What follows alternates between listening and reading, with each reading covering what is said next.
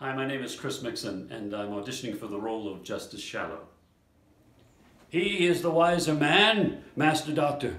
He is a curer of souls, and you a curer of bodies. If you should fight, oh, uh, you go against the hair of your professions. Is not so, Master Page? Master Shallow, you have yourself been a great fighter, Oh. though now a man of peace. Oh, bodykins, Master Page, though I am now old and of the peace. Oh, if I see a sword out, my finger itches to make one. though we are justices and doctors and churchmen, oh, we have some salt of our youth in us. We are the sons of women, Master Page. Tis true, Master Shallow. It shall be found so, Master Page. uh, now, Master Dr. Caius, I am come to fetch you home. I am sworn of the peace. You have shown yourself a wise physician, and Sir Hugh hath shown himself a wise and patient churchman.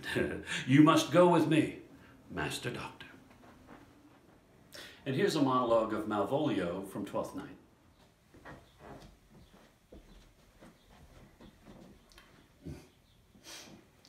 Tis but fortune. All is fortune. Maria once told me she did affect me.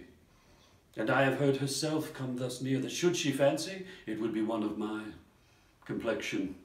Besides, she uses me with a more exalted respect than anyone else that follows her. What should I think on? to be Count Malvolio. There is example for it. The lady of the Strachy married, the yeoman of the wardrobe. Having been three months married to her, sitting in my state, calling my officers about me in my branched velvet gown, having come from a daybed where I have left Olivia.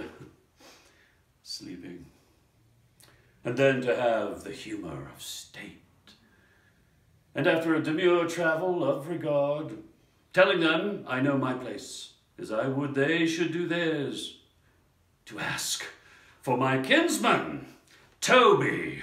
Seven of my people, with an obedient start, make out for him. I frown the while, perchance wind up my watch, or play with my some rich jewel. Toby approaches, curtsies there to me. Hmm.